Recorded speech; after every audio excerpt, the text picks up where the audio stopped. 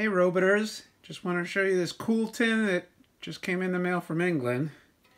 I'm going to rotate it around and you can see all the nice graphics.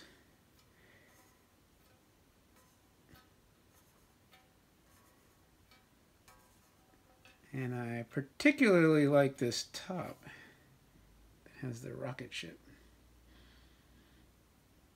And this was from Bluebird Confectionery Limited, uh, somewhere in Worcestershire, England. So, anyway, figured it'd be easier to do a little uh, video so you can check it out. So, I hope you like it, and see you later.